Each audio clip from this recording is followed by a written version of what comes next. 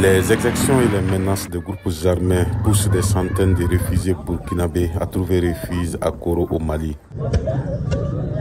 Ce matin, Lisette Zala nous reçoit dans l'un des centres accueillants des réfugiés et situé au cœur de la ville.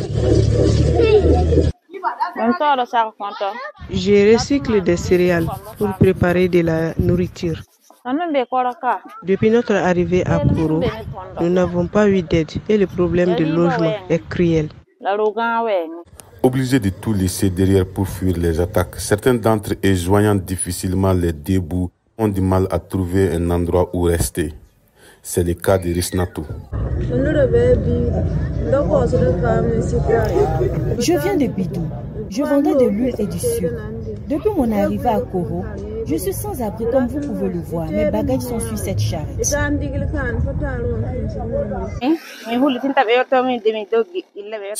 Ces réfugiés vivaient essentiellement de l'agriculture et de l'élevage. En cette période d'hivernage, comment peuvent-ils pratiquer leurs activités? Une équation difficile pour ces réfugiés à Koro.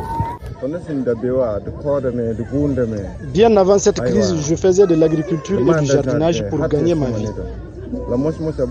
Ici, je suis préoccupé car je n'ai pas un champ de culture dans cette ville. En plus, je m'inquiète pour ma famille.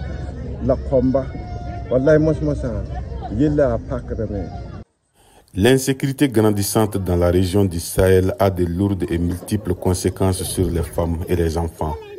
Comme Hawa, beaucoup de femmes réfugiées sont obligées de faire certaines activités pour pouvoir nourrir les enfants car elles sont séparées de leur mari. J'ai fui avec mes enfants pour venir à Kourou.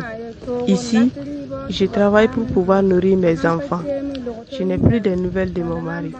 Je n'ai plus d'informations sur lui depuis plus d'un an. Beaucoup de réfugiés espèrent rentrer un jour dans leur pays d'origine pour reprendre leurs activités et revoir leurs proches. Tidjani pour VOA Afrique, Koro.